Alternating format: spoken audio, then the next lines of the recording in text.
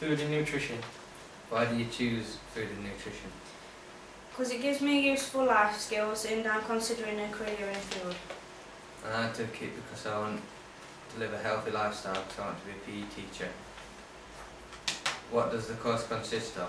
The course consists of eight pieces of cooking which we have to evaluate and then a 40% exam in year 11.